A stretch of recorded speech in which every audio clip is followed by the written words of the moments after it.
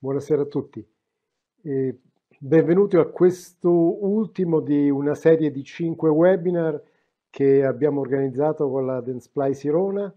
Ancora una volta, a gentile richiesta, il professor Vassilio Scaizas sarà con noi, ci illuminerà eh, sull'utilizzo dei materiali adesivi e i materiali eh, per restauro diretto e indiretto eh, di tipo adesivo. Le attività dell'IAD continueranno eh, in collaborazione anche con la Densplay Sirona nella seconda parte dell'anno con delle attività in presenza, eh, speriamo possibili vista la situazione esistente. Sicuramente la Densplay Sirona darà comunicazione di queste attività che programmeremo appunto per la seconda parte dell'anno intorno a ottobre, novembre, dicembre. Spero che questa iniziativa vi sia piaciuta e quindi lascio la parola all'amico e maestro professor Caizzas per questa bella serata.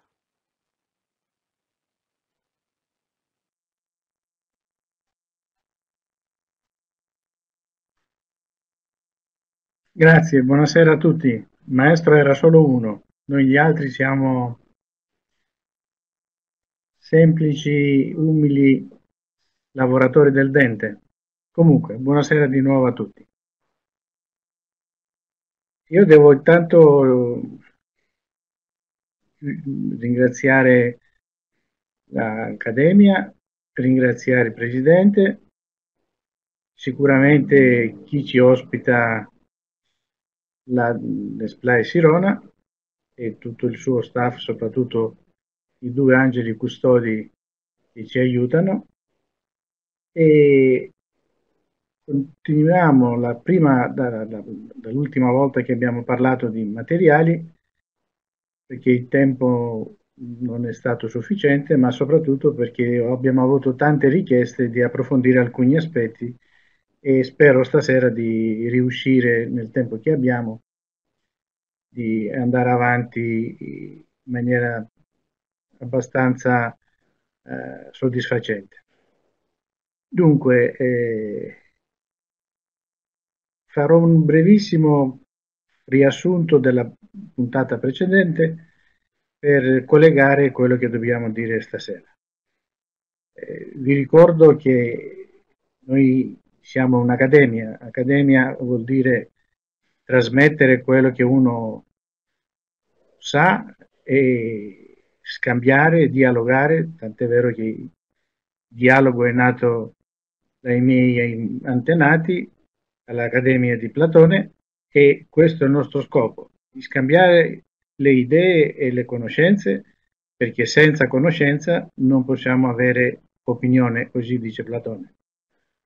Quindi nell'ambito dell'Accademia nessuno è più bravo dell'altro, ognuno sa un pezzettino e tutti mettiamo il nostro pezzettino insieme e facciamo un grande pezzettone che sarebbe quello che ci serve per poter eh, lavorare nel miglior modo possibile eh, per la soddisfazione soprattutto dei nostri pazienti e non dimentichiamo che noi mangiamo con i denti dei, dei nostri pazienti, metaforicamente detto. Quindi entriamo più nell'argomento specifico, noi dobbiamo pensare al nostro successo finale del nostro restauro, quindi dobbiamo assolutamente conoscere molto bene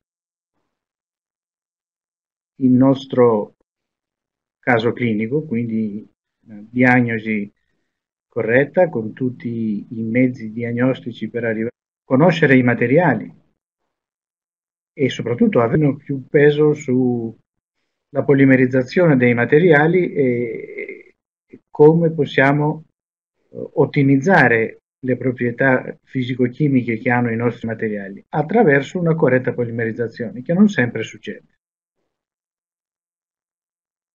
Quindi eh, alla fine, avevamo detto l'altra volta, noi dai nostri materiali cosa chiediamo? Chiediamo un po' di cose che non sempre eh, eh riusciamo a avere tutti insieme eh, a disposizione e quindi cerchiamo con il nostro modo di lavorare di creare meno errori per eh, ottimizzare le performance dei nostri materiali, anche se qualche volta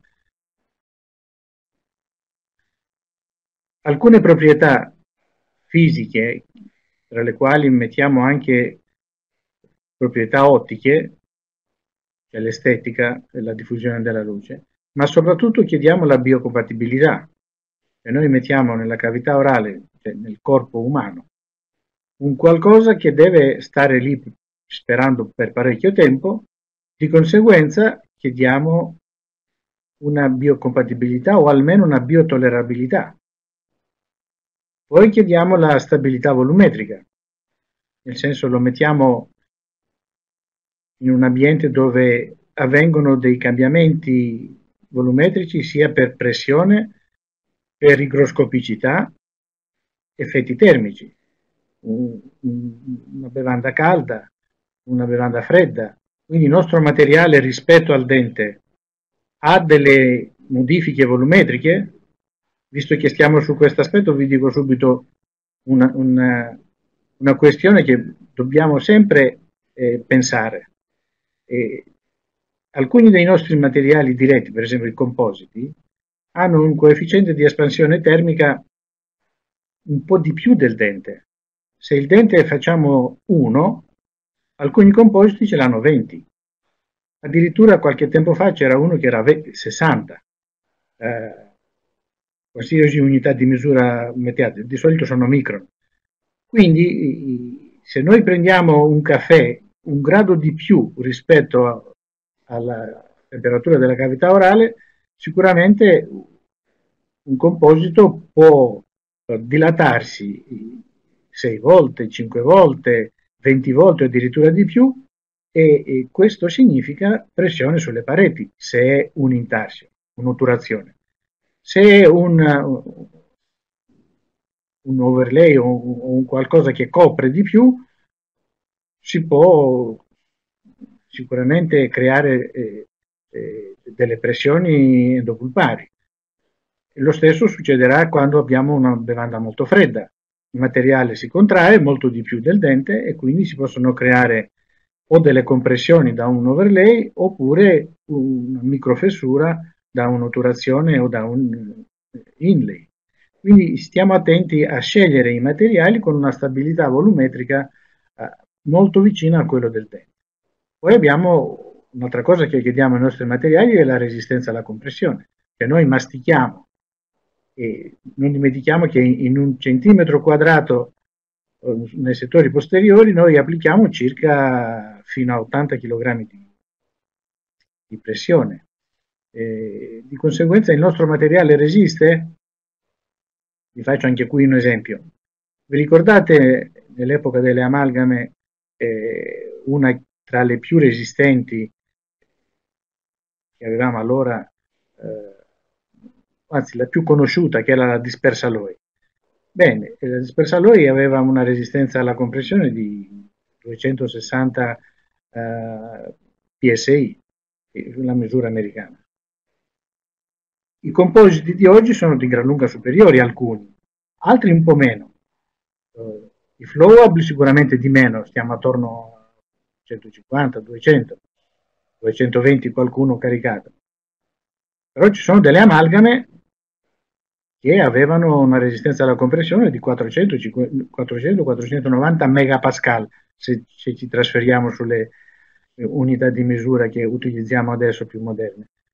E 400 e passa megapascal, oggi dei compositi ne abbiamo qualcuno che arriva a 450 addirittura non parliamo di quelli che vengono cotti in laboratorio, parliamo di quelli che possiamo polimerizzare noi direttamente in bocca.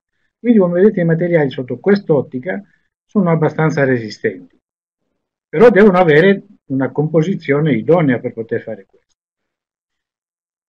L'altra cosa che chiediamo ai materiali è la mimeticità, parliamo di, di colore e di stabilità nel tempo del colore del materiale. Ecco, qui, qui c'entra qualcosa di nuovo che alcune case vogliono inserire nella loro composizione chimica.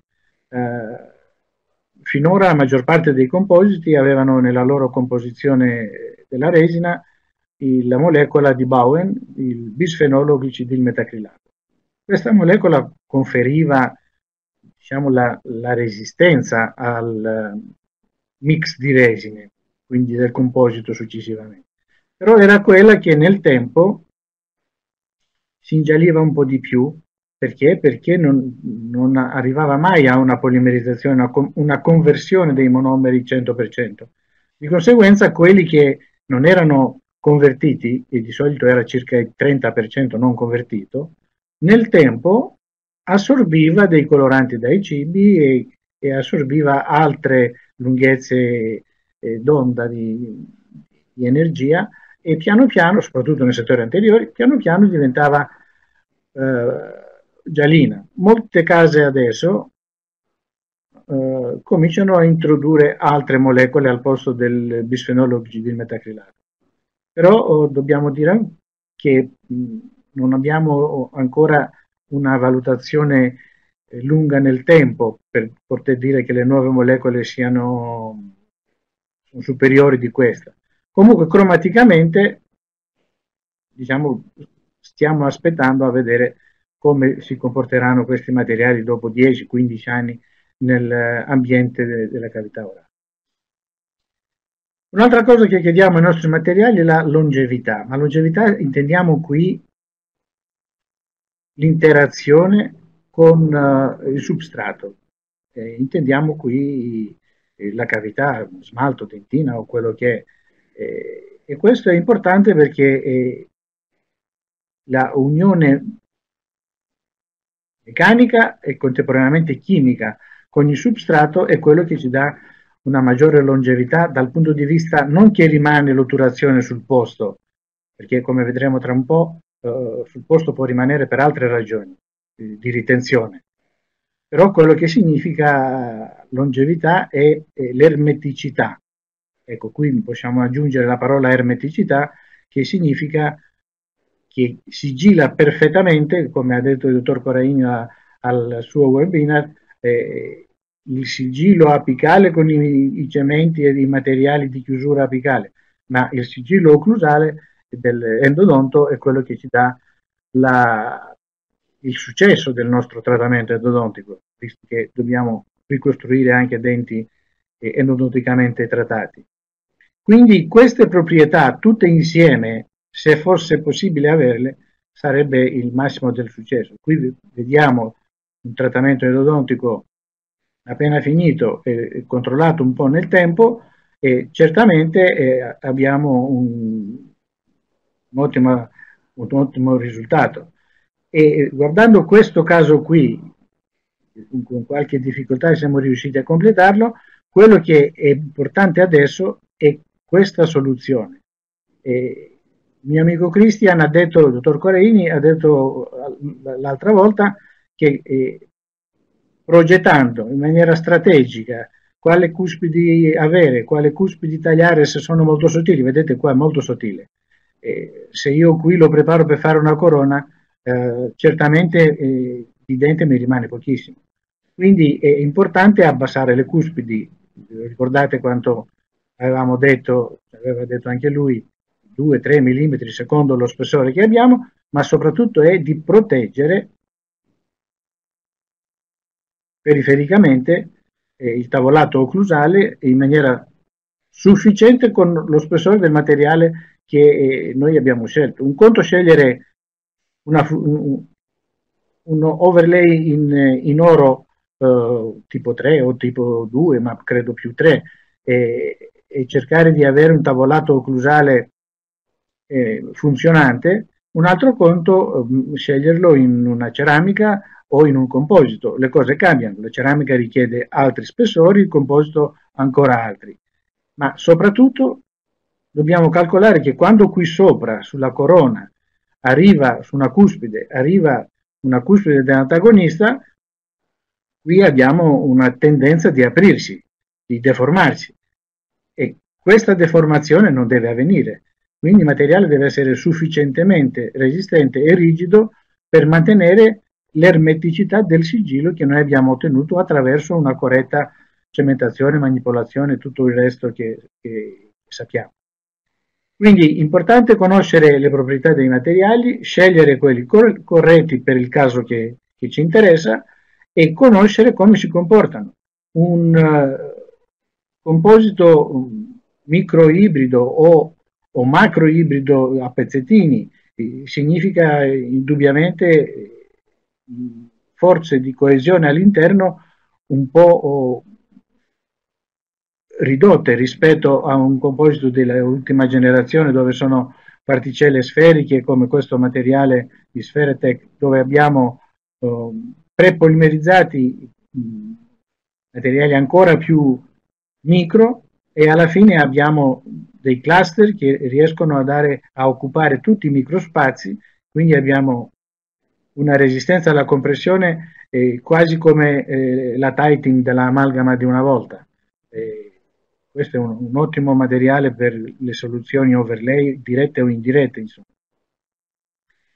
Quindi eh, andiamo sul discutere un attimino sull'ermeticità e sull'adesione. Che cosa intendiamo come adesione? Intendiamo una unione possibilmente inferiore di un nanometro tra il nostro materiale e il substrato.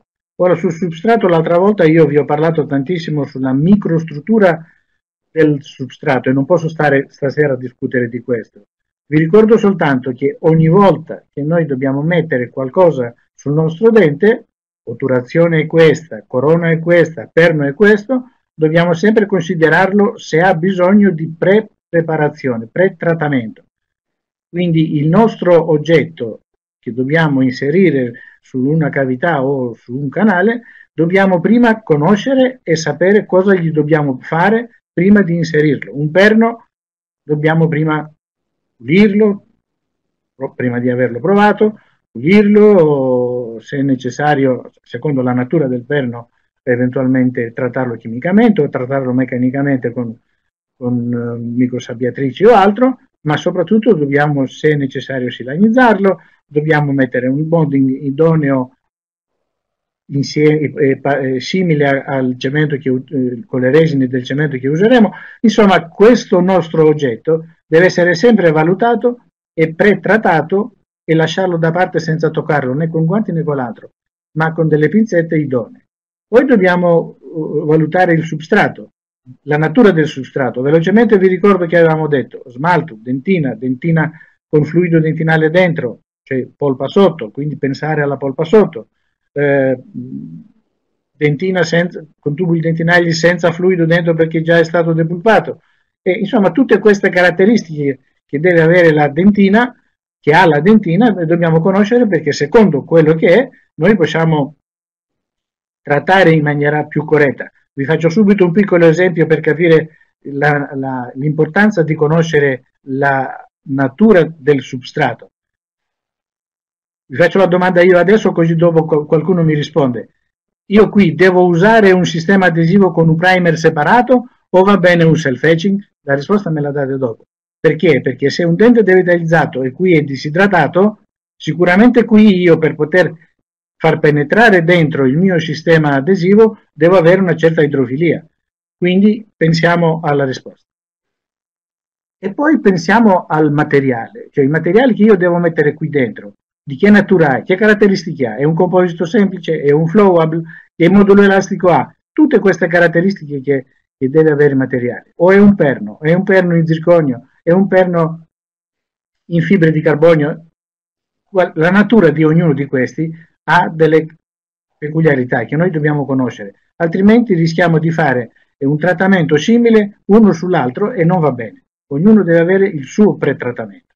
E quindi ricordiamo la dentina, questa è l'immagine del professor Fonzi che abbiamo fatto insieme quando ero a Siena e guardiamo quanto è importante conoscere quello che stiamo facendo. Quante volte abbiamo fatto un'otturazione eh, in un dente asintomatico e il paziente torna dicendo io ho dolore, prima non ce l'avevo. Sì, ma noi gli rispondiamo, ma prima avevi la carie, adesso non ce l'hai la carie. E lui dirà, sì, ma io non avevo dolore, adesso ho dolore. Insomma, una discussione perché abbiamo fatto un errore sulla scelta del, e sul trattamento con, eh, di formare sullo strato ibrido e di conseguenza noi abbiamo qui sotto un uh, problema che non passa da solo, dobbiamo fare qualcosa.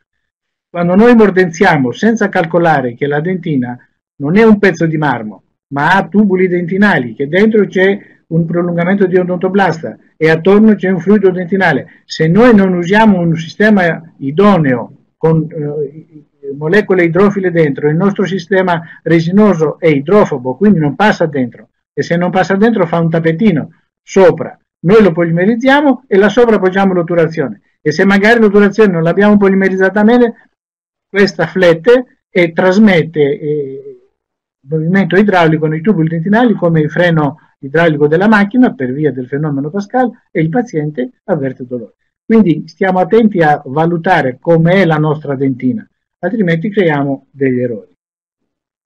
Dobbiamo indubbiamente cercare di, di mandare le resine idrofobe miste con, con, con, molecole idrofile all'interno dei tubuli dentinali, come in questo caso, vedete i, i resin tanks che sono passati all'interno dei tubuli dentinali, questi ci danno un'ottima ritenzione.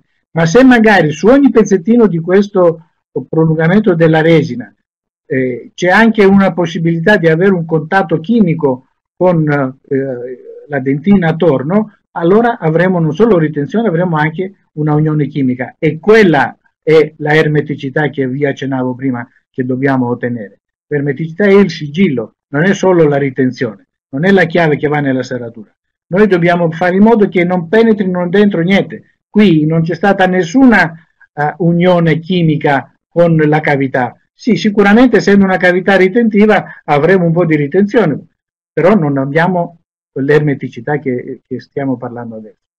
Ovviamente dobbiamo fare i passaggi giusti, pulire il caso con un detergente, fare una preparazione corretta, calcolare gli spessori anche dal punto di vista ottico step by step tutti gli stratarelli che servono pur di arrivare a un, a un risultato stabile nel tempo ma soprattutto eh, estetico e lasciamo il paziente contento che è l'obiettivo nostro e del nostro paziente.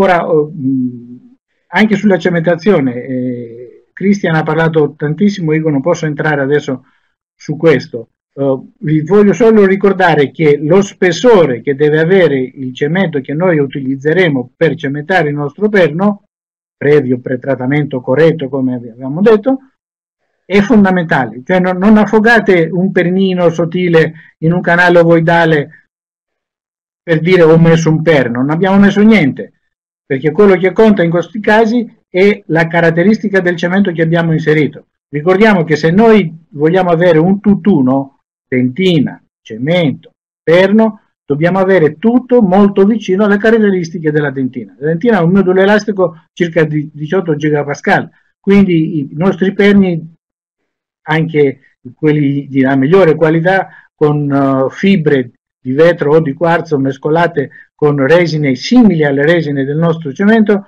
hanno attorno a 25-30, parliamo di una sezione di un millimetro quadrato. Di conseguenza è leggermente di più, però noi non abbiamo nessun cemento che arriva così in modulo elastico così elevato, abbiamo leggermente di meno. Bene, facciamo un compromesso, un via di mezzo, con un cemento attorno a 14-16 gigapascal, noi abbiamo un tutt'uno che è molto vicino al naturale. Solo allora possiamo dire che possiamo mettere una corona sopra o usare questo pilastro come pilastro di un ponte. Se è una corona singola, magari sul dente anteriore, possiamo anche fare la ricostruzione con il cemento caricato direttamente, ma se si tratta di un elemento che farà pa parte di un, come pilastro di un ponte, vi consiglio di utilizzare un composito per fare il build up eh, successivo e comunque usare meno cemento possibile. C'è un limite, questo essere, poteva essere un'altra domanda, di spessore che dobbiamo occupare col cemento? Sì, le varie ricerche parlano dai 100 massimo 200 micron, perché se abbiamo uno spessore maggiore di 200 micron, che sicuramente ce l'abbiamo nei canali ovoidali, dobbiamo fare una personalizzazione, una, uh, un perno specifico per il nostro canale. Magari lo possiamo fare in maniera indiretta, però deve essere meno possibile il nostro spazio per il cemento che dobbiamo utilizzare. Ovviamente meno possibile intendo oh, non meno di 100 micron, se no non riesce a, sviluppare le caratteristiche della cementazione. Eh, più o meno lo stesso possiamo dire per quel che riguarda la cementazione di un uh, lavoro indiretto. Dobbiamo solo ricordare che il nostro cosa, che è l'intarsio, se, se, di che natura è? Se questa natura è composito, non deve, eh, eh, ed è fatto già in maniera indiretta, deve essere eh, pulito, perché spesso il laboratorio ce lo manda, ehm, purtroppo usano delle cere o altro isolanti, noi lo dobbiamo pulire, lo possiamo pulire o con, con una microsabbiatrice da 27 micron, bassa pressione, oppure con dei solventi per togliere eh, residui grassi se ci sono. E successivamente dobbiamo silanizzarlo e poi passare il bond tutto il resto. Ma se questo è ceramica, bisogna vedere che ceramica è. Un conto è la feldspatica, un conto è la, mh, il silicato di lito, un altro conto è il zirconio. Oh, dottor Coraini vi ha, già, vi ha, già, detto tutto l'altra volta, io vi ricordo soltanto che se dovete eh, microsabbiare un manufatto in zirconio, dovete utilizzare eh, il laboratorio, i Rocatec, noi in studio i Kojak, che sono delle, delle eh, chiamiamole sabbie, eh, sottilissime, circa 20, 27, massimo 50 micron, presilanizzate che riescono a darci un substrato oh, che possiamo sfruttarlo sotto l'ottica della silanizzazione, che non è proprio così, ma comunque ci dà un aiuto per una migliore adesione. Qui è un'immagine clinica che eh, vi voglio dire non limitatevi alla polimerizzazione del cemento attraverso oh, la luce che esce da un puntale di una lampada perché non è sufficiente. Quindi i perni conducono un po', ma non è sufficiente. E questa è un'altra immagine che ci dice che lo spessore del cemento è molto ampio, si possono creare delle bolle dentro, ma soprattutto, eh, essendo il modulo elastico molto più basso di uno e dell'altro, sicuramente questo perno non è stabile qua dentro, quindi evitiamo anche questo. Per le faccette vi voglio far eh, eh, vedere soltanto la differenza di mordenzature che possiamo avere. Vabbè, il dente lo sappiamo che dobbiamo fare un po' di più, in questi casi eh, applichiamo sulla parte vestibolare, eh, essendo i prismi obliqui, applichiamo il nostro mordenzante eh, circa 30 secondi e poi per quello che riguarda eh, la, i sistemi adesivi abbiamo parlato l'altra volta, vado velocemente per ricordarvi che eh, l'ultima generazione, l'ultima classificazione dei nostri sistemi adesivi non parlano di, di generazioni, ma parlano di strategie di, di adesione.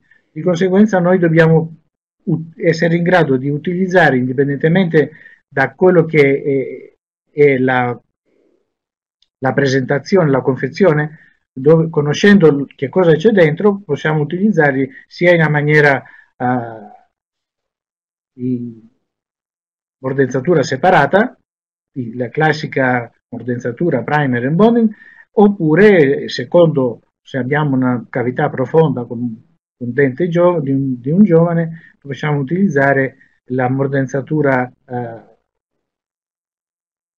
che dà il sistema adesivo perché può avere un suo, una sua catena di monomeri acidulati che possono creare una mordenzatura sufficiente senza svuotare completamente i tubuli dentinali dallo smear e quindi di evitare quegli errori di operatore che parlavamo prima del, del fenomeno Pascal.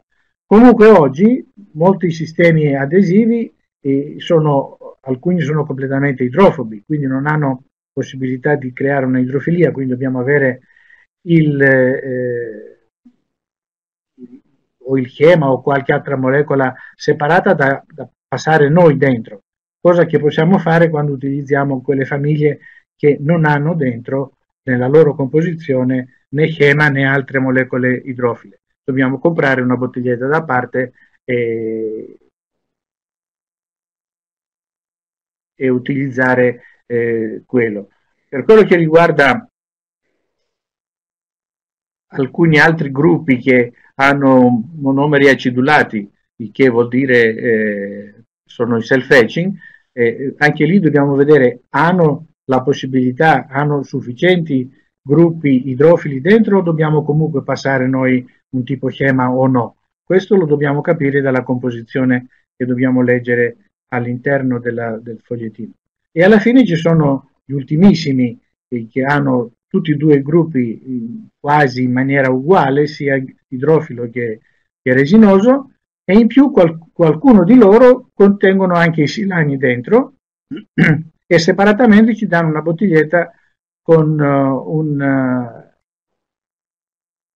uh, eh, iniziatore di eh, catalizzazione, di, cata, sì, di catalizzazione a parte eh, senza la necessità di avere la luce eh, per forza. Voglio dire con questo, in zone dove non arriva la luce, se noi in una goccia di, di adesivo fotoattivabile ci mettiamo una goccia di attivatore, di catalizzatore, che si chiama activator, possiamo trasformarlo in eh, materiale che si polimerizza da solo. Certamente bisogna eh, fare eh, attenzione di aspettare, se, se abbiamo una cosa del genere, di aspettare qualche minuto prima di mettere la luce perché prima si deve attivare la polimerizzazione self, cioè la, l'autopolimerizzazione e successivamente noi diamo la luce per completarla. Perché se noi facciamo prima la luce e poi aspettiamo per la autopolimerizzazione, questo non avverrà in maniera completa perché la, la polimerizzazione con la luce ha bloccato quelle molecole che si dovevano muovere eh, convertendosi nella um, stimolazione con uh, l'attivatore eh, di autopolimerizzazione. Insomma, voglio dire, eh, se avete un materiale che non siete sicuri che non arriverà alla luce per polimerizzarlo e quindi lo attivate con, chimicamente, aspettate prima qualche minuto, di solito le ricerche parlano di 3-4 minuti e poi date la luce per completare la polimerizzazione. Recentemente quasi tutti, quasi tutti, molti insomma, eh, hanno aggiunto di sistemi adesivi, hanno aggiunto una molecola, quell'ultima che vi sto indicando adesso, non so se si vede, che è il 10-MDP, che è una molecola che può andare bene eh, sia per gli ioni di calcio della parte altamente mineralizzata, sia per gli ioni di calcio che sono l'impalcatura del collagene. Quindi diciamo che è un'arma in più che abbiamo nei nostri sistemi adesivi. Vedete, questi sono gli adesivi per parte organica, cioè per cavità molto profonde dove il collagene è abbondante e quindi abbiamo questa molecola anche qui. Quindi aiuta ancora di più per avere una ermeticità maggiore della nostra adesione, che va a finire su questo gruppo chimico Qui molti sistemi adesivi si uniscono con questi, ma tantissimi si uniscono con i gruppi azotati. Quindi ricordiamo che più in fondo scendiamo nella cavità, sempre sul dente con polpa vitale, più questi gruppi sono abbondanti, di conseguenza dobbiamo avere un sistema adesivo che va sul collagene. Questo è il collagene che abbiamo fatto vedere anche l'altra volta. Gli ultimi universali, cioè ultimi, alcuni degli ultimi universali eh, quello che io sto provando recentemente è anche questo, che sono un po' misti, hanno un po' silano dentro, un po' uh, gruppi acidulati ovviamente idrofili, ma quello che conta, che diremo tra un attimino, è il loro pH, perché secondo, questo che diremo adesso è molto importante, ricordatevelo sempre, secondo qual è il solvente, e secondo qual è il pH, noi dobbiamo valutare la viscosità del nostro sistema e di stenderlo con l'aria, di strofinare, farlo penetrare eh, nella dentina e poi soffiare delicatamente in maniera più o meno prolungata per assottigliarlo, perché più spesso lo lasciamo può in qualche punto eh, creare delle, passatemi i termini, delle pozzanghere sugli spigoli, sugli angoli di una cavità o di un canale, polimerizzarsi e successivamente non fare entrare il nostro manufatto. Vedete, se, se, se è solo acetone vuol dire che il pH è molto basso, quindi questo oh, può, se lo lasciate molto tempo può creare una mordenzatura non tanto desiderata. Quindi state attenti su pH e sul uh, solvente. Prendiamo materiale della casa ospite di stasera, vedete un pH non eccessivamente basso, 2,5 rispetto a qualcun altro, però se andiamo a vedere che cosa ha dentro, vediamo che c'è, che c'è dentro acetone e water, che è acqua. Quindi noi possiamo questo mh, aiutarlo a penetrare nei, negli anfrati del, della dentina che abbiamo creato eh, e che si crea con, la, con questo pH per eh, assottigliarlo e mh, creare una, una, piccola pellicola sottilissima per poter dopo oh, applicare sopra il nostro, il nostro cemento.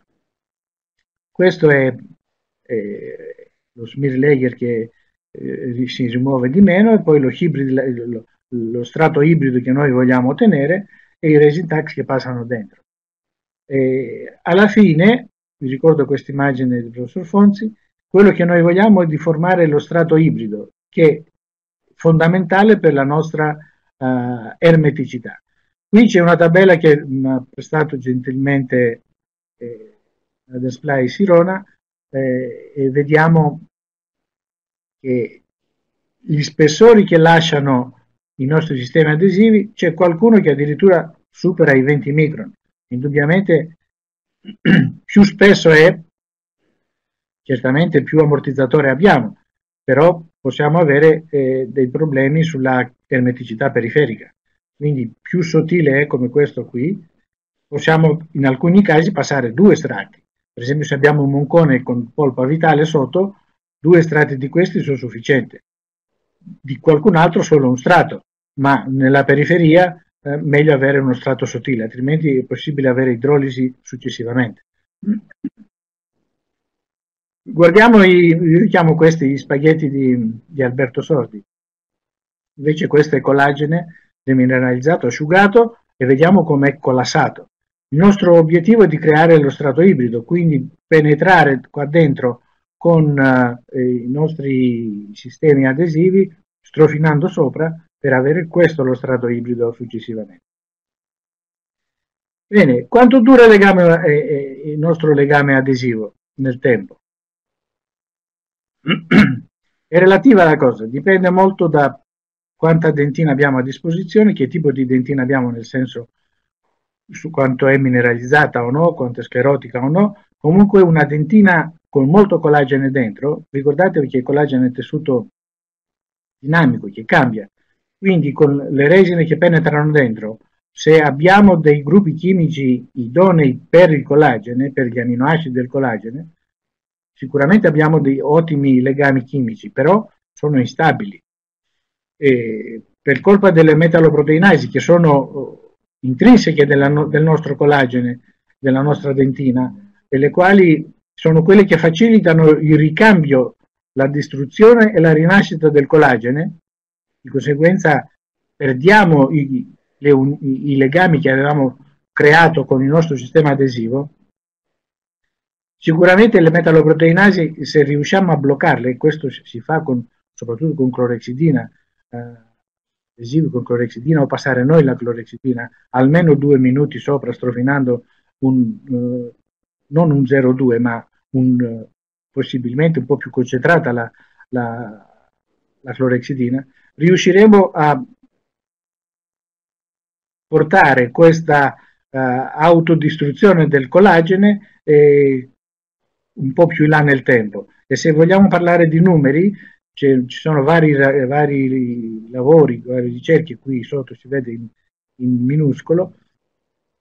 Se, se, oggi noi otteniamo con nostra, la nostra corretta scelta di adesivo e con, es, con la corretta manipolazione otteniamo circa 80% di legami sul collagene, 100% non è possibile, per, perché ci sono appunto dei, dei, dei gruppi dei chimici che non si uniscono sempre tutti, e se oggi abbiamo 80%, fra tre anni noi abbiamo perso eh, circa un 20%, scendiamo su 60%. Fra 6-7 anni dell'adesione eh, vera e propria c'è rimasto un 30%. Sicuramente se noi abbiamo creato i resin tags che abbiamo visto prima e lo strato ibrido, noi possiamo avere il nostro restauro sul posto, ma abbiamo, come abbiamo detto non significa che è adeso. significa che è ritenuto. Quindi stiamo attenti a dare il massimo della nostra manipolazione corretta per poter eh, ottimizzare le performance del materiale. Perché sicuramente questo è, è, il confine tra dente, materiale e qui è l'adesivo. Sicuramente qui le unioni che vanno verso uh, i resin tags, soprattutto l'unione con, con, i tubuli dentinali di, di tipo chimico, per colpa del collagene sono un po' instabili. Ora però, se qui noi il collagene l'abbiamo alterato per via del, dei lavaggi delle irrigazioni con i nostri irriganti, sicuramente abbiamo perso, secondo il tipo di irrigante, o componente organica se abbiamo usato ipoclorito o componente inorganica se abbiamo usato eh, DTA. Di conseguenza il nostro collagene e dentina, impalcatura della dentina inorganica sicuramente sono alterate. Quindi noi, conoscendo come abbiamo lavorato durante l'irrigazione, possiamo scegliere il tipo corretto del sistema adesivo di passare dentro. Vorrei eh, dedicare qualche minuto sulla polimerizzazione e sulle lampade, perché qui comincia a esserci una piccola confusione.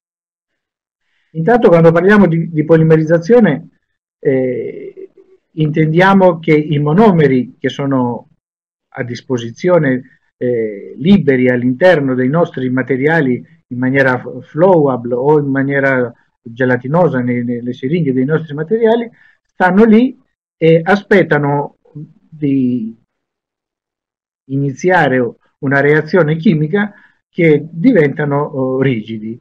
Per fare questo ci sono dentro delle sostanze chimiche che impediscono l'autopolimerizzazione all'interno dei materiali. Parliamo dei, di materiali che per polimerizzarsi hanno bisogno della luce, dell'energia fotonica. E, apriamo parentesi, quelli che si mescolano pasta A, pasta B, quelli non parliamo in questo momento perché quelli sappiamo che polimerizzano oh, soltanto quando stanno in contatto eh, il catalizzatore con le amine terziarie, cioè perossido di benzoile e amine terziarie. Quando sono in contatto questi danno l'inizio alla polimerizzazione dei monomeri che sono dentro oh, sia il vasetto A che il vasetto B, perché sono uguali, solo che su uno c'è il perossido di benzoile, sull'altro sono le amine terziarie, e quando queste amine e perossido di benzoile sono in contatto, il materiale indurisce. Però la conversione non supera mai di 60-65%. Quindi fare un restauro oggi con questi materiali significa partire già con difetto di, per, per le proprietà fisiche del materiale. Si sgretola più facilmente, non resiste alle forze masticatorie e tutto il resto che significa materiale più morbido. Allora, lasciamo da parte questi, parliamo di quelli che induriscono di più attraverso la polimerizzazione con energia fotonica. Bene, perché non induriscono i materiali dentro le, le, le siringhe che noi ce l'abbiamo o nelle altre confezioni?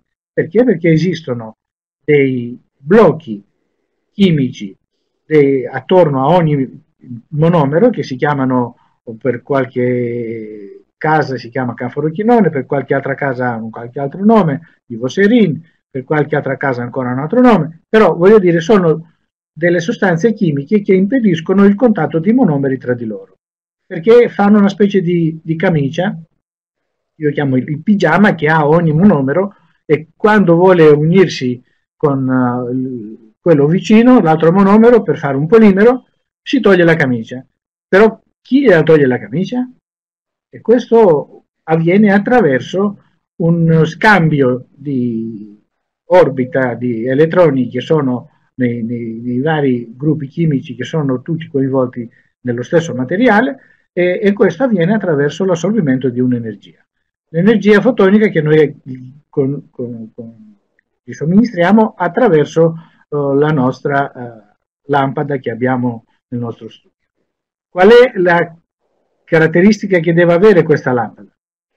Al di là se è lampada alogena, se è lampada LED o se è lampada laser o se è non so, ecco, eh, quello che conta è secondo il costruttore il tipo di, di pigiama, passatemi i termini per capirci meglio, che ha messo dentro, tipo il canforochinone, i voserin, quell'altro, qualsiasi altro gruppo di protettore abbiamo messo dentro, per, to- per poter togliersi questo dal, eh, e liberare il nostro monomero ha bisogno di un'energia che l'energia, come sapete, è basata su, oltre sulla potenza e sulla lunghezza d'onda. Per quella specifica dei materiali nostri che stiamo parlando è attorno a 470-480 nanometri mediamente, perché poi c'è una precisazione. Allora, questi 470 nanometri eh, eh, riescono a essere assorbiti dal pigiama, il quale cambia eh, orbita, cambia potenziale che ha e, e libera il suo posto, il monomero trova l'altro monomero libero anche quello e si uniscono e fanno un polimero. Questa è la catena della polimerizzazione.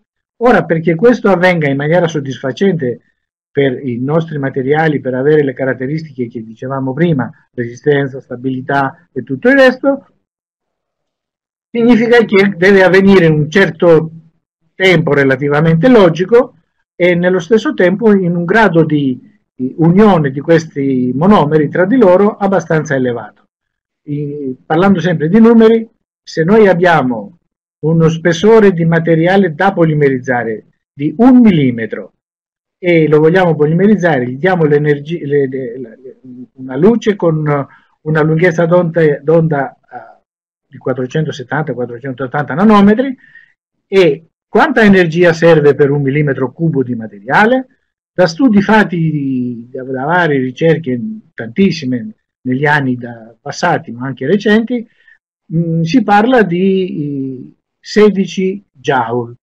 Eh, o se lo trasformiamo in millijoule 16.000 millijoule. Questo che vuol dire? Che una lampada da 1000 milliwatt, che noi conosciamo questi numeri, i milliwatt per centimetro quadrato, una lampada di questa entità riesce a polimerizzare un millimetro cubo di materiale in 16 secondi. Ma se io ho una lampada di 2000 milliwatt, riesco a dimezzare i tempi? Teoricamente sì, però c'è un altro problemino che eh, questo è che vi volevo segnalare stasera. Quanto peso deve trasportare ogni molecola appresso per polimerizzarsi? Che voglio dire, dentro il composito cioè, non sono solo i monomeri, sarebbe un solo liquido a questo punto, ma esistono delle particelle che è il cosiddetto filler, che può essere 30%, 80%, 60%, secondo quanto è caricato, tra virgolette, il nostro materiale. Bene, e, e, si è visto che un materiale che ha una media 70% di filler richiede, per poter eh, arrivare a una polimerizzazione almeno del 75-80%, richiede almeno 20 secondi. Parliamo di una quantità di un millimetro cubo di materiale. Se il mio materiale è il doppio di, di volume, richiede 40 secondi ma sempre su 1000 milliwatt parliamo di lampada. Ora eh, parliamo sempre di, della stessa lunghezza d'onda, ma parliamo anche dello stesso eh, iniziatore, dello stesso eh, tipo canforochinone o ivoserin, quello che è, però sempre della stessa uh, natura. Se invece il nostro materiale pur di essere polimerizzato da varie lampade, contiene vari tipi di questi gruppi chimici che devono essere eh, diciamo attivati e sicuramente anche l'energia della nostra lampada deve essere eh, modificata, deve essere adattata con nuovi, queste nuove lunghezze d'onda e nuovi eh, modificatori, convertitori del, della polimerizzazione. Per questo sono arrivate ai nostri studi da poco alcune lampade che riescono a, a avere più lunghezze d'onde, di conseguenza riescono a convertire eh, più tipi di iniziatori che stanno all'interno del, dei nostri materiali. Qui io vi ho messo un po' dai dai primi LED, LED di, successivi di una decina di anni fa, uh, le alogene, uh, alogene potentissime, non so se qualcuno conosce questa, arriva a 3400 mW e, e poiché può riscaldare parecchio, c'è un circuito di raffreddamento dentro. Questa è un'ottima lampada, io la consiglio moltissimo per chi eh, cementa manufatti in composito eh, già prepolimerizzati in cavità dove la polpa sotto non c'è, perché se no si cucina la polpa con questo. In ogni modo questi hanno pure la possibilità di modificare l'energia, non è che va subito a 3400. È una lampada eccezionale, un po' costosetta, però oh, anche un certo volume, quindi bisogna conoscere tutto. Recentemente stiamo valutando lampade, si chiamano multi-wave, lampade che hanno possibilità di avere più LED e quindi possono coprire più iniziatori, come vi accennavo. Quindi possono avere non solo il picco massimo dell'energia a 460-470 qui, ma possono essere anche un po' prima, anche un po' dopo, perché alcuni di questi nostri eh, convertitori mm, sono attorno a 430-440 nanometri di lunghezza d'onda, ma altri un po' oltre. Quindi queste lampade multi-wave che possono eh, avere mm, più possibilità di emettere lunghezze d'onde eh, raggruppate in varie fasce, sicuramente ci danno la possibilità di coprire tutte le necessità, come può succedere con uh, alcuni compositi che hanno dentro iniziatori tipo solo caforochinone o solo ivoserin, oppure un po' misto. In questi casi le lampade che sono multi-wave riescono a coprire tutte le nostre necessità. E vi ricordo che alcuni compositi recenti non hanno solo canforochinone, ma hanno anche fenilfenolfosfinati, parola complicatissima, oppure il TPO, chiamiamoli direttamente con TPO, le facciamo prima, i fosfin, ossido, ossido fosfin, non lo so come si può dire in italiano. In ogni modo questi hanno lunghezze d'onde più basse, e, e, noi abbiamo bisogno di avere una lampada che riesce a coprire questo. Infatti quelle multi-wave hanno più LED e riescono a soddisfare queste necessità. Però anche qui vi, vi segnalo un particolare. Controllate sempre la totale delle, dell'energia che, la, che esce fuori, cioè l'ammontare totale dell'energia deve essere non inferiore a 1000 mW. Eh, perché? Perché se lo suddividiamo nelle varie lunghezze d'onde va a finire che eh, in un determinato composito che, che si eccita, si converte a 460, per dire, se la nostra lampada è meno di 1000 mW, su 460 saranno 300, sì o no. Quindi mh, non polimerizzerà in maniera soddisfacente. Ecco, questo era eh, importante tenere presente. Ora, ci tenevo di stare un attimino su, sulla polimerizzazione perché spesso mh, ci sono delle sirene che girano, uh, le nostre labade sono migliori delle altre, ma se andiamo a vedere quanti sono i LED che emettono l'energia che ci serve, eh, succede qualche confusione. E alla fine, mh, vedo che il mio tempo sta quasi per finire, vi ricordo soltanto che mh, l'aveva già detto il dottor Corini, ma vi ricordo io la differenza di pretrattamento se abbiamo uh, dei, dei, manufatti in ceramica da, di silicato di litio, zirconio e, e ceramiche felspatiche. E teniamo presente che le felspatiche che si fanno soprattutto se eh, le fa in laboratorio sul modellino, spesso hanno delle impurità.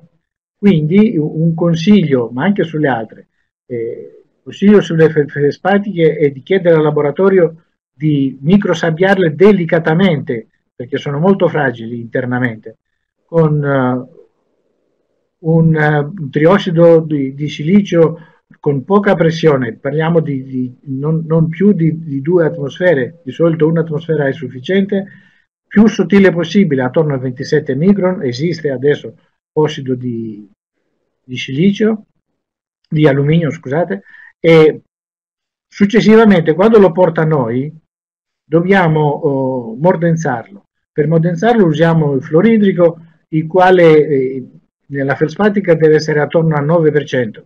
Sulla di silicato di litio può andare bene anche il 5%, ma un po' più più circa 90 secondi e quello che conta, che volevo dire di più, è di metterlo subito dopo la mordenzatura, lavarlo e metterlo negli ultrasuoni, possibilmente con alcol eh, e acqua, perché così eliminiamo microfrustoli che sono creati e possono cadere all'interno delle micro ritenzioni formate e impedire la penetrazione del nostro sistema adesivo. E qui un attimino ancora, una volta che l'abbiamo tolto dagli ultrasuoni, sarebbe il caso di soffiare molto delicatamente o meglio ancora metterle in un ambiente caldo di circa 60 gradi, un fornetto e farlo stare lì 2-3 minuti e successivamente passare il nostro silano. Se usiamo dei sistemi adesivi degli ultimi che vi ho fatto vedere che hanno dentro già il silano compreso, vi chiedo di stare, di leggere attentamente che tipo di silano è, perché i silani non sono tutti uguali ormai. I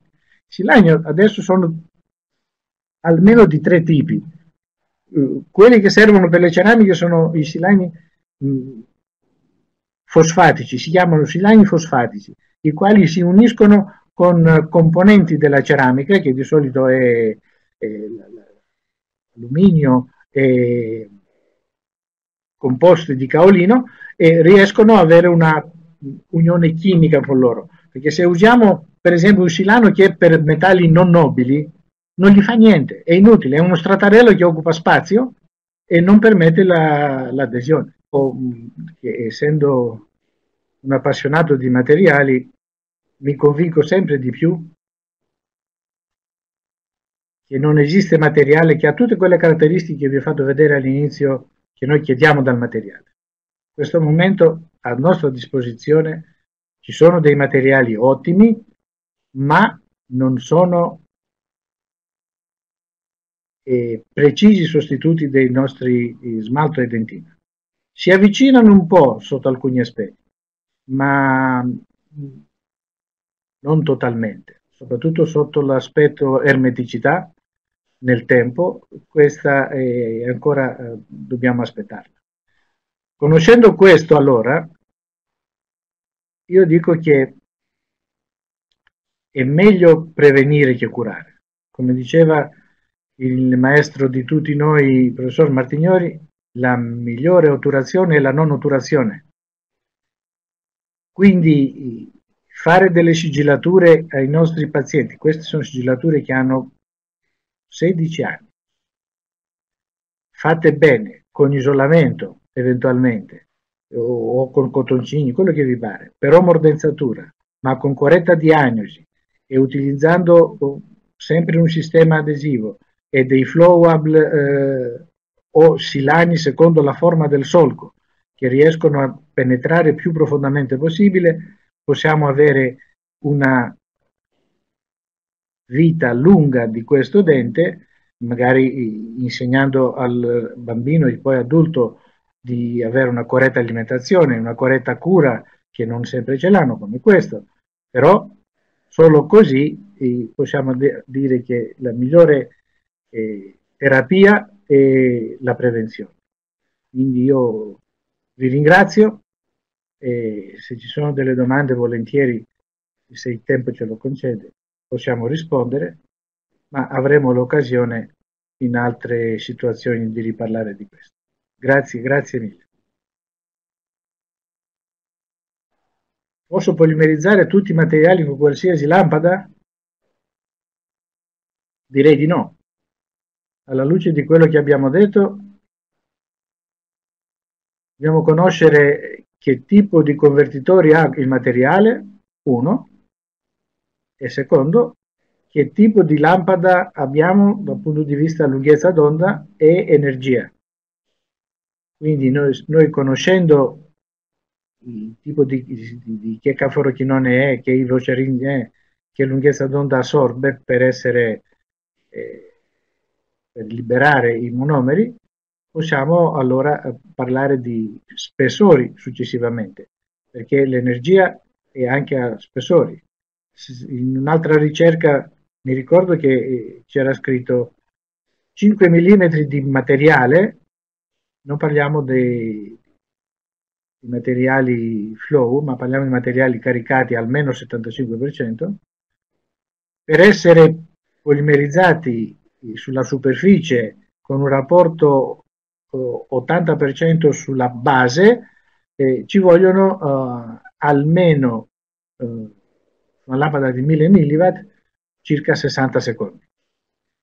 Quindi calcoliamo questi spessori e calcoliamo la nostra lampada. Però c'è un altro fatto che vi ho accennato l'altra volta. Eh, le nostre lampade nel tempo, nonostante si accendono, non emettono sempre la stessa quantità di energia. Quindi i, le lampade che hanno un sensore che potete controllare fatelo spesso, ma chi non ce l'ha il sensore dentro, comprate un sensorino, costa poco adesso, meno di, di 150 euro. Potete controllare una volta a settimana la vostra lampada, perché anche se si accende, può darsi che la sua energia scende, e di parecchio anche. Quindi potete calcolare di raddoppiare, triplicare i tempi, magari da più parti. Ecco, questo è.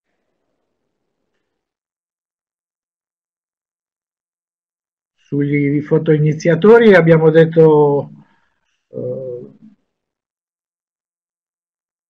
diciamo che attualmente sono tre tipi, tre famiglie, più o meno eh, non, non, non, ha grande differenza purché la, la lampada deve essere eh, tarata su quel tipo di fotoiniziatore. E non sono tante le lampade che hanno LED eh, idonei per ogni tipo di fotoiniziatore. Magari le multi-wave sì, eh, però sempre con energia maggiore, minimo 1000, se non di più, se possibile.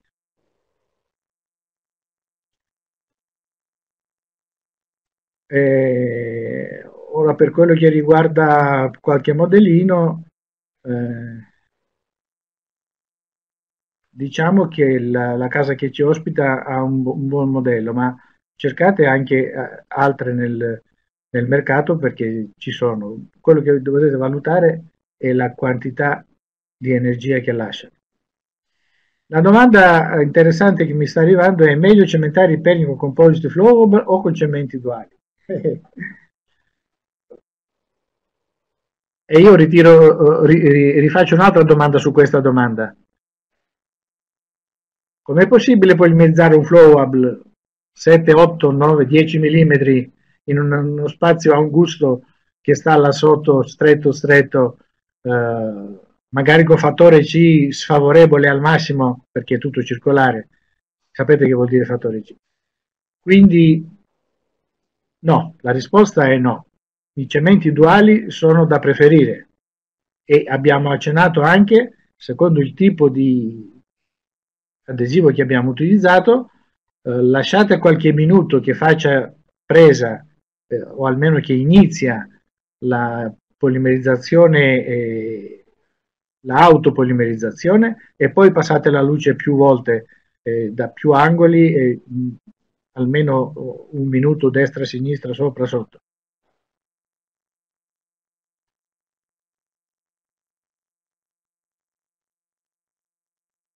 Ok, se non ci sono altre domande io ringrazio tutti, spero che seguite le attività dell'Accademia state sempre sul sito dell'Accademia e vedrete tutte le iniziative che piano piano verranno organizzate. E ringraziamo il Presidente dell'Accademia, ma ringraziamo soprattutto eh, la Display Sirona